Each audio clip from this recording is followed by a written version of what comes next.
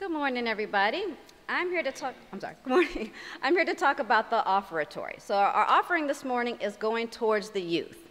And you might just think, oh, that's youth activities, they do some cool stuff.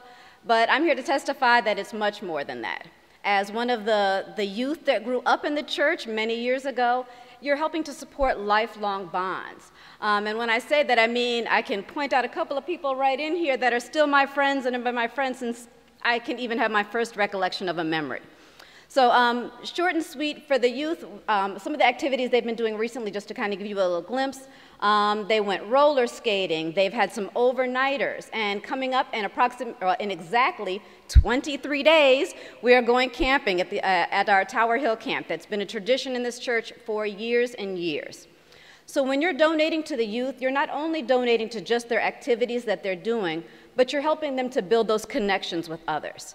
I know uh, the, the young woman that was playing the violin earlier, if I give her a call, I know that she's there for me because we built those bonds doing all these things, doing these activities, going to camp, and that's what you would really be supporting. So it's not just paying for someone to stay in a cabin, though that is literally part of what it is. You're helping them to build those bonds those times when they're at the beach, playing a game, they're being silly, playing volleyball with one another. You're helping them to build those bonds.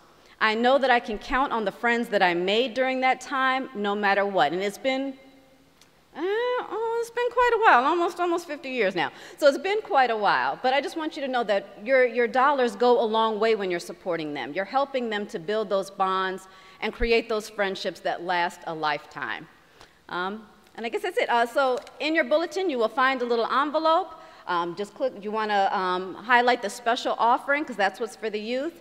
And if you're viewing with us, uh, digitally, virtually, however you want to say, um, please feel free to donate online and make sure that you're donating to the special offering um, for the youth because it goes a long way and every amount helps, no matter big or small, any donation is welcome and we greatly appreciate it all. Thank you so much.